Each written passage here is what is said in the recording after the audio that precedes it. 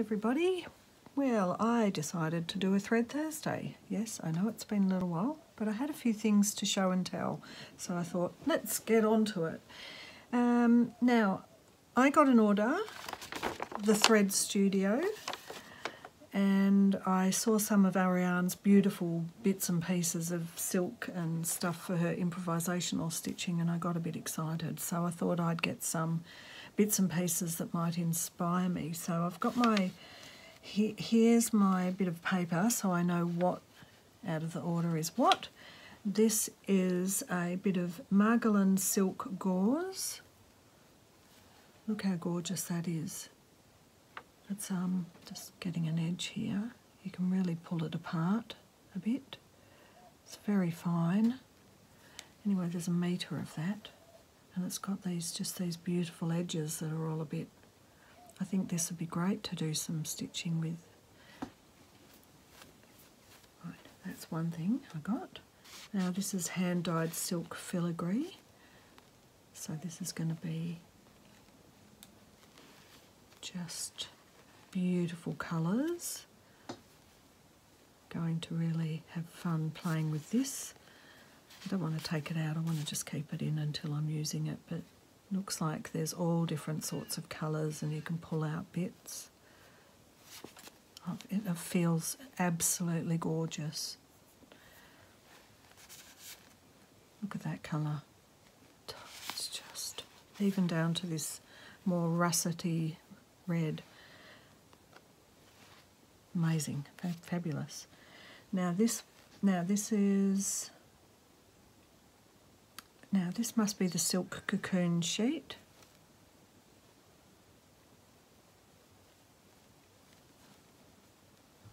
I'm going to assume.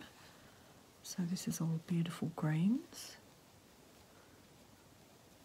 Not sure how I can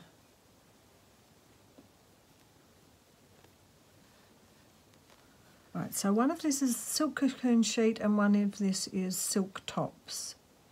I think this is possibly silk tops. Maybe I'm wrong. Maybe this is silk tops. It's like all the little bits.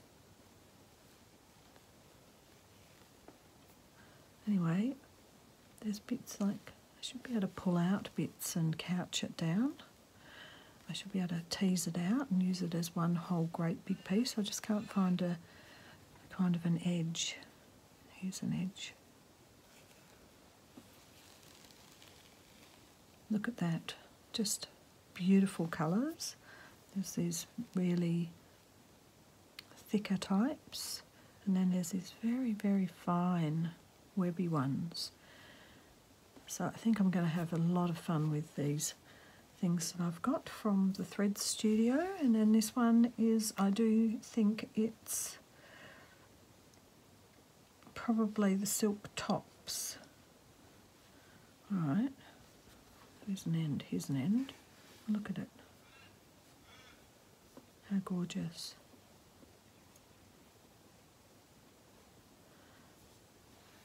And I love, I love this range of colours. Look at that. The oh, it's just gorgeous, isn't it? It's got pink right through to uh, this purple colour, through to green. There's a bit of brown where they've overlapped the dyes and then we get back through to the pink again to a more creamy colour and then into that green. Well, oh, I just want to sit and play and look at those. anyway, that's that was my little treat that I got.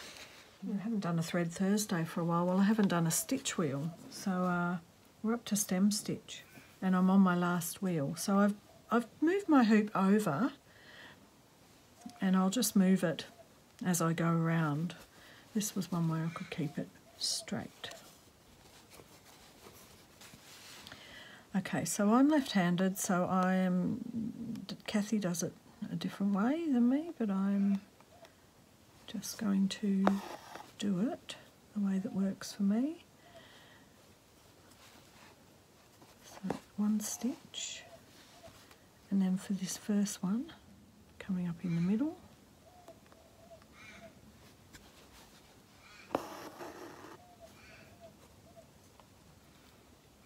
And always keeping that on the same side we started. So this one we're going to come up, going in, keeping the thread the way I've put it that way, coming up at the end of the previous stitch.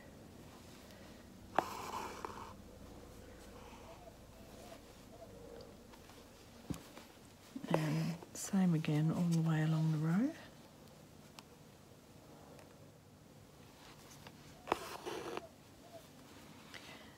Of course, if you're using a variegated thread, it's going to have a really good effect, isn't it?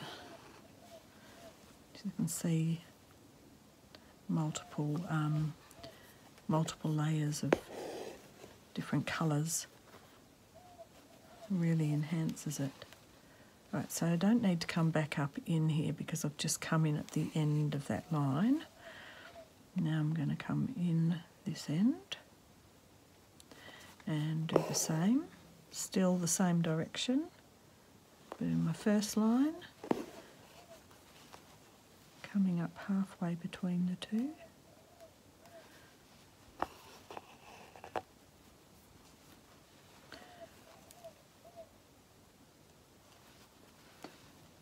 And the second one coming up the end of this piece, this bit.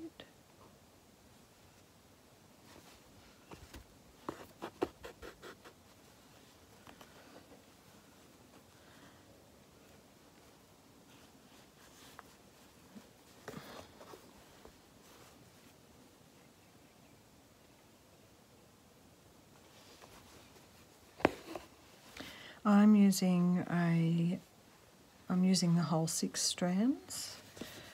Could have done it a bit thinner. It's still quite an effective stitch though, isn't it? So what Kathy suggests is when you're getting to a circular shape like this, rather than do the next line and then come in, it's better to do this edge first and then backfill the gap.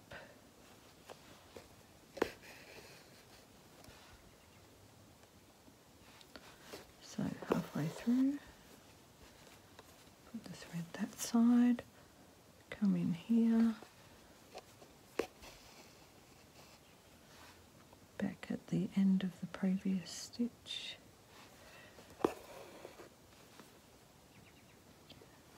Now, just fairly close. Now going to come in the row above it. That row in between.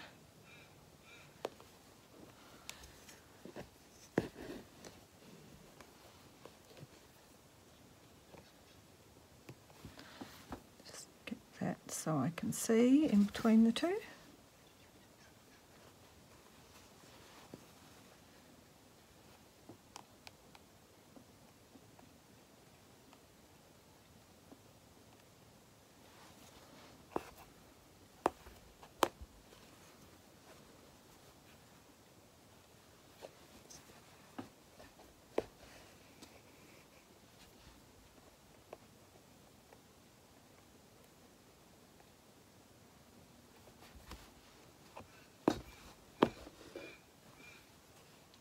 Now I can see, oops, this looks like a little bit of a gap here. So I'm going to fill that little spot.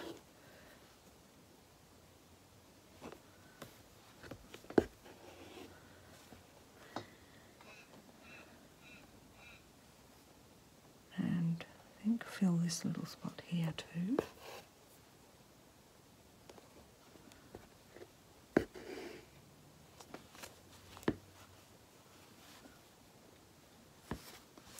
Wobbly, but uh, oh, it's quite interesting on the back too, isn't it? That's an interesting effect. It's like a basket.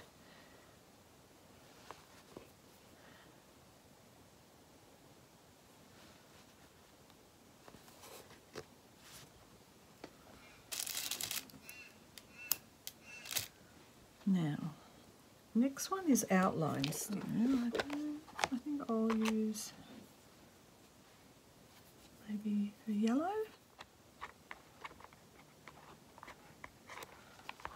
Put that one in there. What sort of yellow? Brighter. Wasn't trying to do super bright colours on this stitch wheel. Maybe a bit of this one.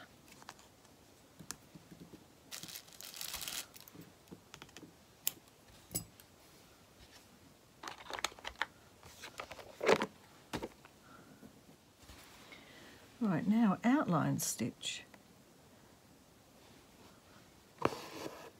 So basically, it really, if you've got a curve, it's best to, whether you're doing stems, it, it's really just the same stitch, just depends on which way you're going and which way you have your thread. So if you've got a curve, you always want to be doing it so that the curve has the string, thread, whatever you want to call it, on the outside of the curve. So it looks like an outline. It's just one of those things where I think it's just the same stitch, but what you would do would be just go, um, okay, I want the thread on the outside at that side, or I want the thread on that side, depending on what you're doing.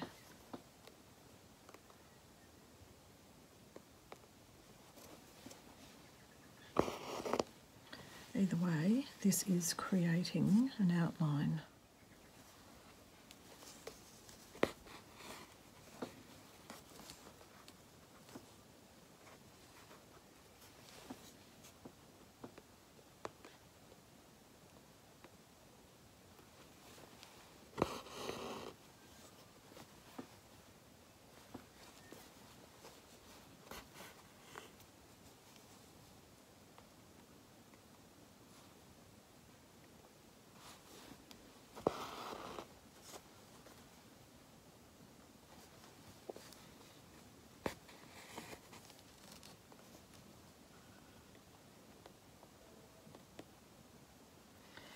Now if this was just a line only,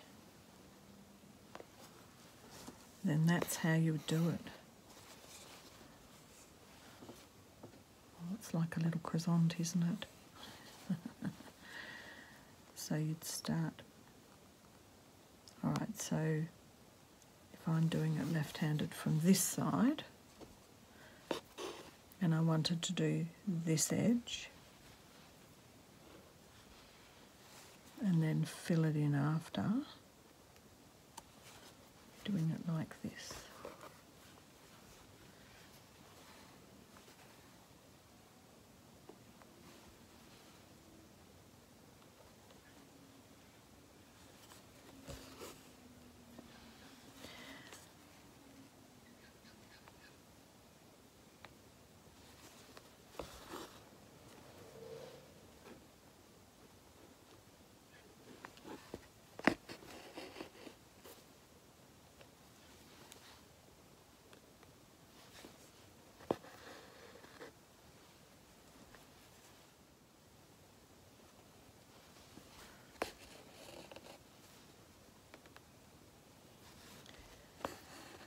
I do find it, I think I find it the most effective when you're just doing a straight line, but it is designed that you can fill in, fill in these little bits.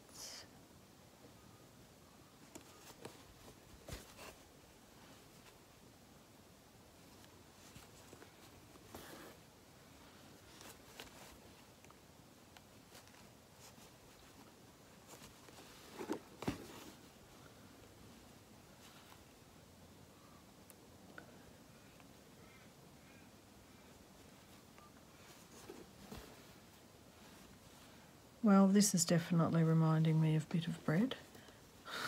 a croissant or a, some bread of some sort.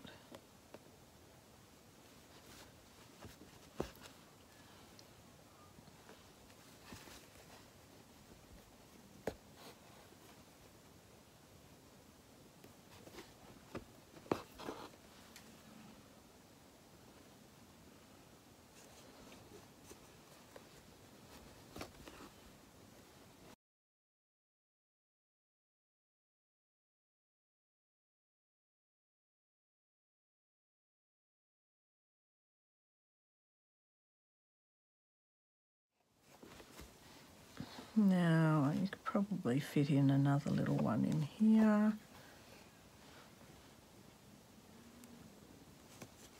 If you wanted to. Right, I think this one was a little bit more successful than the stem stitch one. Looks a bit like I messed that up a bit. All right, there we go. Let's outline stitch. Quite like that. It's neater on the back too.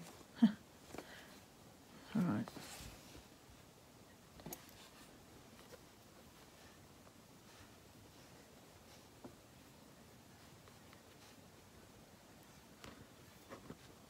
There we go.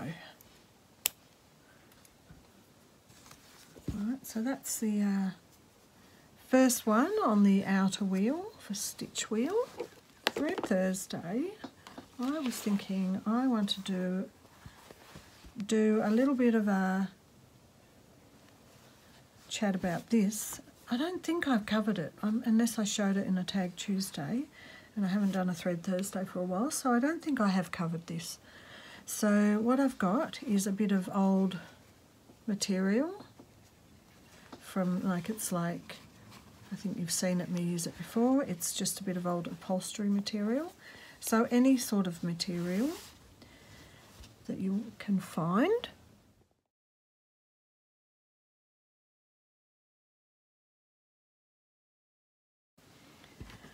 Uh, so the method is really just to be basting down largish stitches. I tend to just go across and try to just get every single piece so as it's down, attached. See now with this one I can take that pin out because I know that that bit's attached.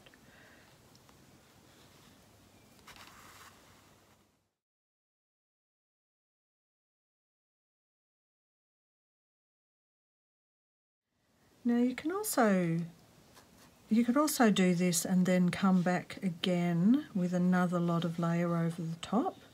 I think because it's, um, to me, I'm looking at each of these pieces already and just going, oh, well, that's how, well, that, there's, they're staying like that. There's not, you know, I'm not going to do layers over layers and cover up bits. I've just laid it out the way I like it and that's how it's staying. I'm taking the pins out as I go so as I know where I've gone. I've used a black so as it sort of stands out quite a bit.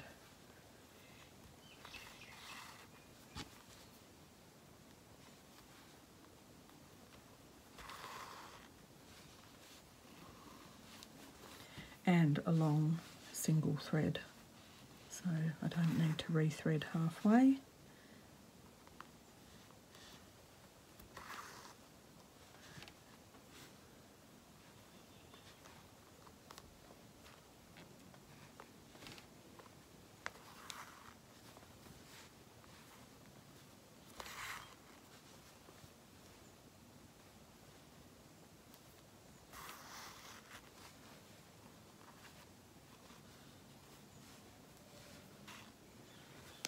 So just make sure with some of these there are some little bits under, just make sure they're caught with pins, the, the stitching.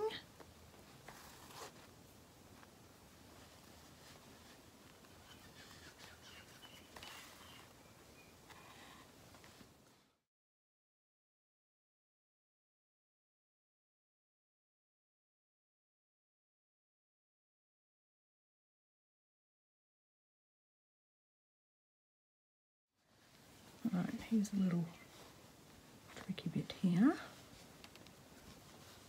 Alright, let me just go across here and then maybe down. That might be a way to keep that one attached. Come across back here. Get bit, this one attached a bit better. So I've come down to the bottom now, so I'm getting a bit skew. Don't want to miss getting bits. Across the bottom and then across here. Then there's that little bit too. Right, I might might have misjudged my thread after all that.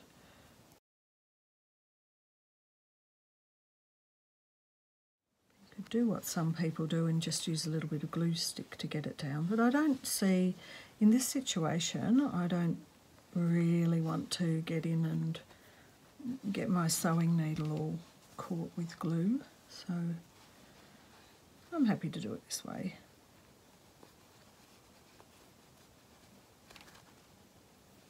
Alright, I definitely need to thread a bit more, never mind. Nearly made it.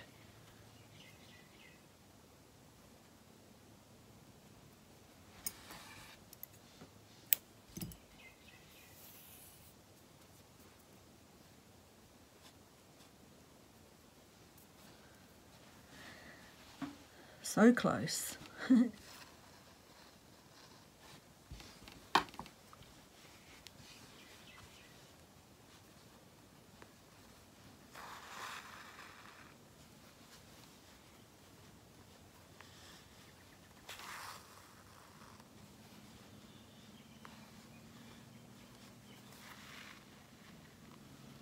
Alright, this is the bit. Do I want those that out? I think I do.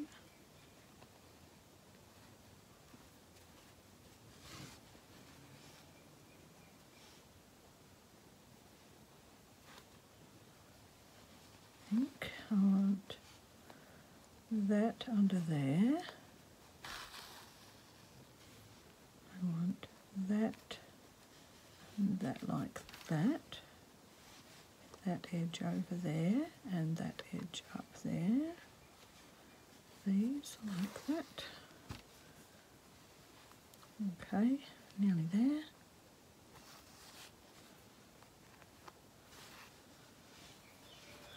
And just now want to tack these down in place. I think these this is sometimes when they're a bit close and the edges are just very fine, you want to probably give them a good tack down so they're in the right place that you want them to be when you're sewing with the sewing machine.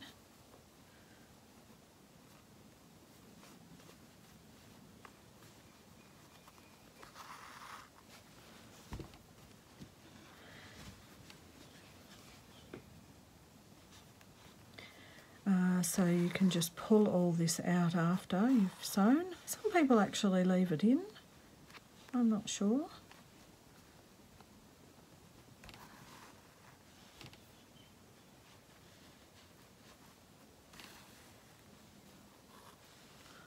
I'm just going to leave that loose. Okay, I don't need pins.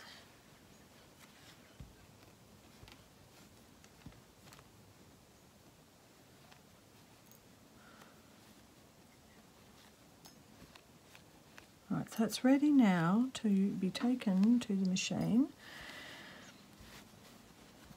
Oh, is that a pin? Oh, yeah. And I'll do exactly the same sort of thing.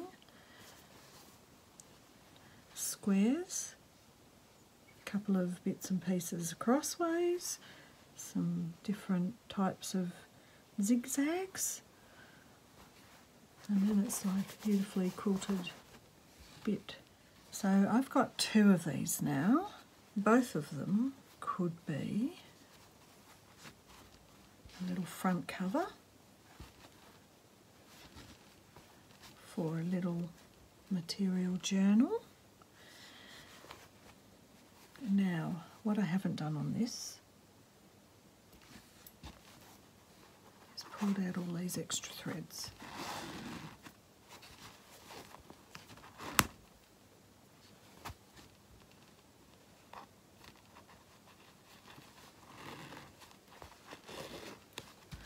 If you've done them wide enough, you should be able to just pull these out Of course, if you've sewn over a few of them, then they might be a bit harder to get out. But we don't need the basting stitches there.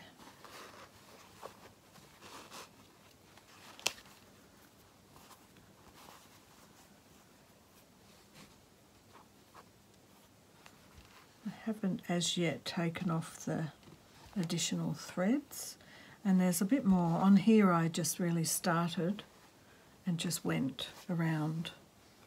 I didn't stop and start. But on this one I did a bit and then looked at it and decided where I needed more. So I've got a few more stops and starts with this one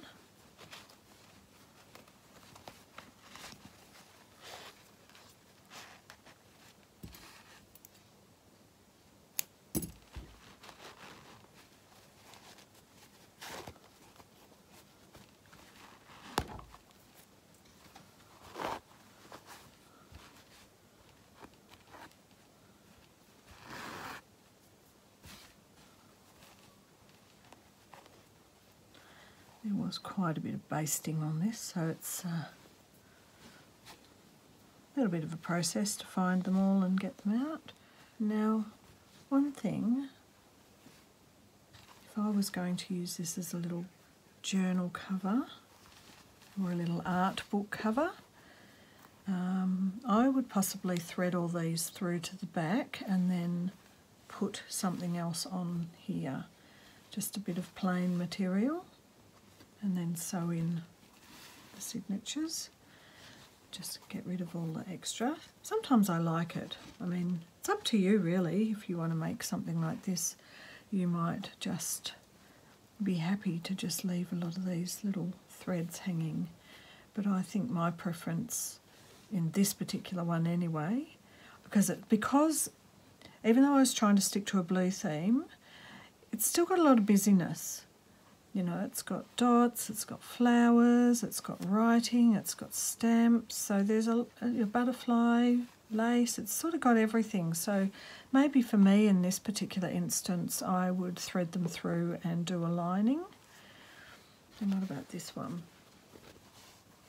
Well, probably, um, all right, I already want to, I already want to snip these ones off. So that's how that's going already thread this one through.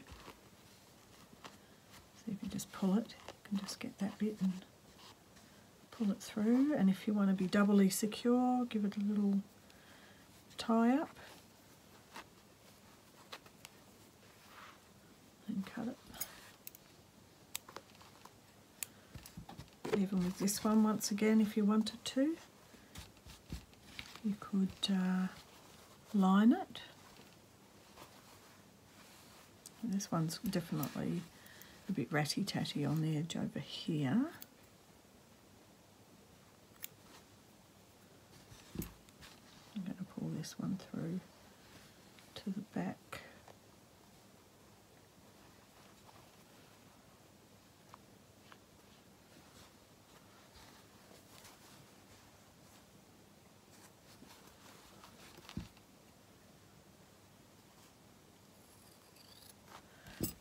Now I'm going to make a few of these and the thing I'm thinking is that possibly when I've made a few I might want to put them together. You never know. never know what if they matched I would be, I might just sew them together like this and open them like that. If that was a lot, if, if this was like this and that was a seam, I would consider making a spine so that that width is the same as this width. So this might be a spine here, this just here between these two all sorts of things you can do with these little patchwork pieces. Hope that gives you some ideas. For, for these two in particular, though, because I'm obviously going to do a few more, I imagine that um, these are going to be this size. little booklets. Alright, so I'm going to put these aside for now and work on something else. Alright, I'm just going to finish this Thread Thursday off with finishing off my little stitches book, which has been a creative journey of play of different stitches and double up pages, so there's quite a lot in there. And now I am just up to these. Oh, so I did I show this? I think I did show this. Maybe I didn't. Anyway, this was the last few pages. That was the applique we did on the tag, so I was just having a little bit more of a play. Flowers, lace. So I'm on my last two pages. So this is a bit of old um, material from a beautiful old dress that my sister had that I somehow managed to have and wished I fitted into but didn't. So I thought I'm going to use the material because I loved it. anyway, I'm just over stitching on it to create a bit more depth to it.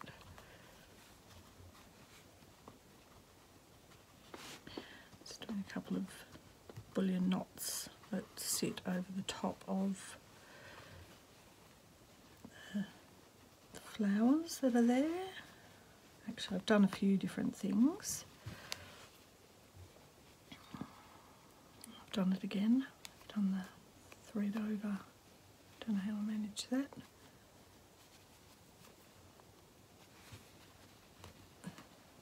There. All right.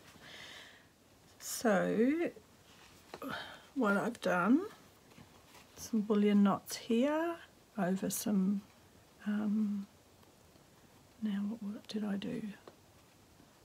I was doing split back stitch on there, some more bullion knots, French knots in the centre of the flowers, a couple of pistil stitches, went around this flower, some straight stitching down the side. So it's ready to go in. Now all through this book I have been gluing all the pages in just like I do with most of my tags.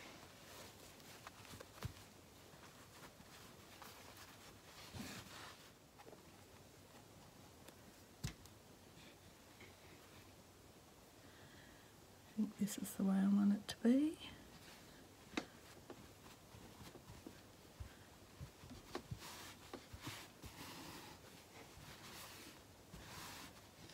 Now I've got one more little thing I've been making and it's just a free improvisational piece and I ended up putting crystals there, a bit of lace. Don't know if I've shown making this or not in the past. However, that's done and that's going in too. And this is my little reference book. I can go back through this if I'm feeling a bit stuck and thinking, oh, what stitch would I like to use? Or what idea could I use? um, I can just go through this little reference book and have a bit of a squeeze. See what works.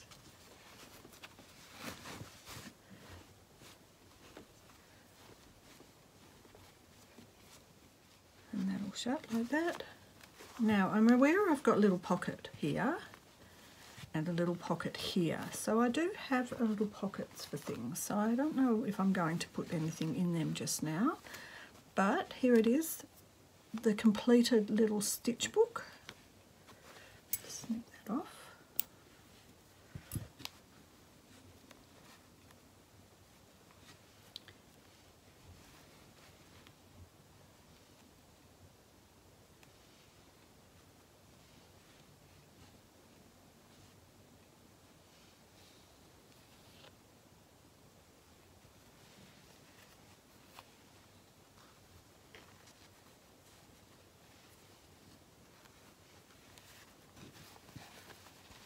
good chunky little book.